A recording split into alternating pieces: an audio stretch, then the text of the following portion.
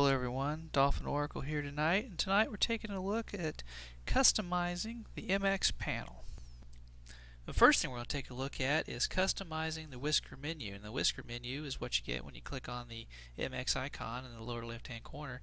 There's a couple things you can do right off the bat to customize the whisker menu. For one, you can add things to your new favorites menu. The favorites menu pops open by default.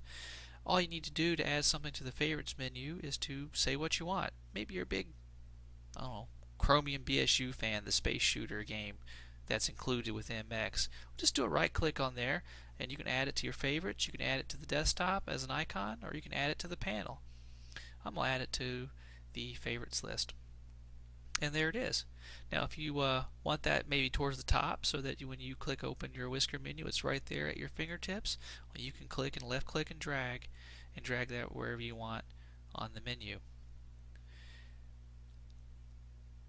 Another thing you can do is instead of having it open to your favorites by default, you can set the whisker menu to open by open up the recently used items list.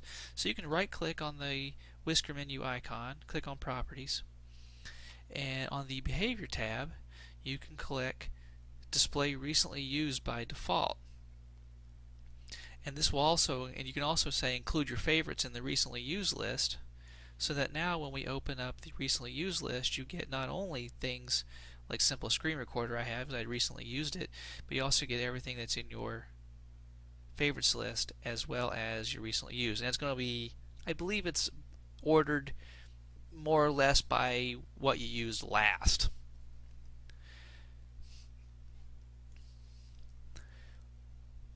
The panel is another nice thing in MX that you can customize real quick. Uh, the panel, this vertical bar here uh, with the clock on it already.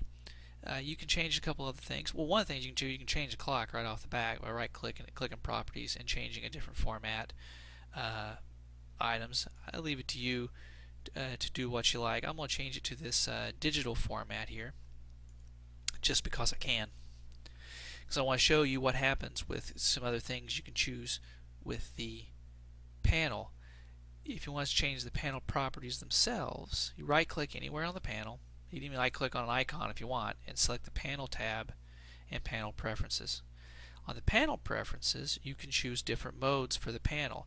Right now it's in vertical mode and you can see all the text is vertical and everything. If I change it to desk bar mode, it gets horizontal and the layout is slightly different. Um, maybe it'll work better for you, maybe it won't. You customize a clock to shrink it down, or you can make the row bigger so that the clock fits a little better if you like. I personally like mine a little short, but we'll leave it big for now. If you want to move the, the, the bar around, maybe you want to set it in horizontal mode, you can do that. And if you want to move it, you need to unlock the panel. So you uncheck this lock panel box, and you get this handlebar, they call it, and you can slide the panel wherever you want. You can leave it in the middle of the screen if you want to. I don't recommend it. I'd put it to one of the edges. It just makes more sense that way. I, however, happen to like the vertical panel, so I'm going to leave it that way. And we'll lock it to keep it in place.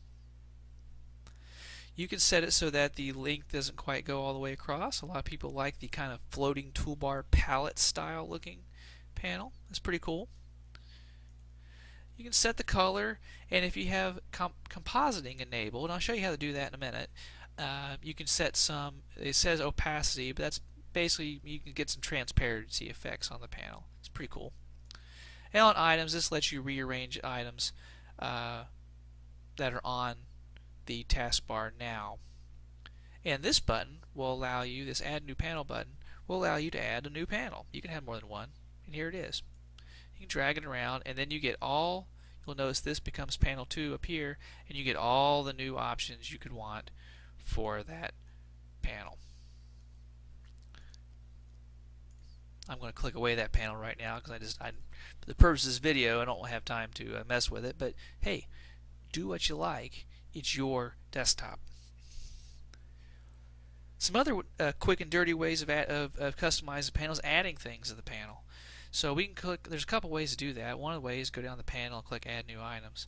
And you get a choice of all sorts of widgets to, to add to your panel. It's pretty nice. And there's a couple different ways you can add widgets to it. I'm going to add the uh, I should mention if you don't like the whisker menu style and you want a more traditional menu, uh, the XFCE, I believe they call it the applications menu. It is here. Yeah, the applications menu is here. You can you can drag this to the to the panel, and you'll get the the classic XFCE applications menu that you might be more used to. And if you want that, by all means, put that on there. It's your panel. You can do what you want.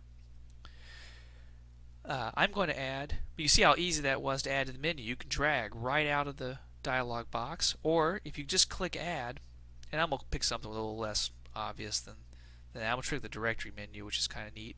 You can either drag it right to the panel, and you see the little red line shows you where it's going to go, or you can just click add, and it will show up at the bottom by default.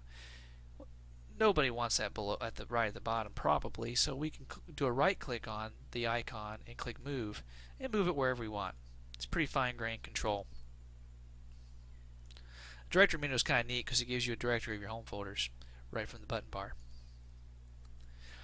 If you uh, another way to add to the bar, to the panel, is to open up the Whisker menu and let's say we want to add File Manager, the full File Manager, which is Thunar, to the panel. We can do a right click and say Add to Panel.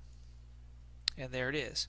And same thing, it goes to the bottom by default, but we can move it just like that. Well, let's say I want Chromium BSU on there. Well, already done right click option. Another way to do it is you can drag it straight in. Now it's a little funky dragging it from the whisker menu because the placement's not as precise because the icon's just so god awful big. But it will work and it works just fine and now you get Chromium BSU right on your button bar. Uh, another way to add items to the panel uh, is to use the application finder. And the application finder it actually is in my recently used items, but it's just under accessories, application finder. And this lists, uh, this is a standard XFCE component, and it lists all the various applications that are installed by category on your system. So here I'm going to drag VLC. Again, I can do it straight from, from, from the finder, or I can do a right click uh, Actually, no. From here, I need to drag it uh, there uh, uh, to do to to do that. Uh, the application finder also is available from Alt F2 as just the run box, but if you press the down arrow or click the green down arrow, you get the full application finder. And in MX, Alt F3 also brings up the application finder, just so you know. So we've added widgets, we've moved panels, we've moved the panels around, we've moved items on the panel. I think we've customized the panel to death. You can also change the color. I'm not changing the color scheme right now on my panel. Um, so for news and documentation, head over to mepiscommunity.org mx or join us in the forums at forum.mepiscommunity.org. This is Dolphin Oracle signing off. Have a great night.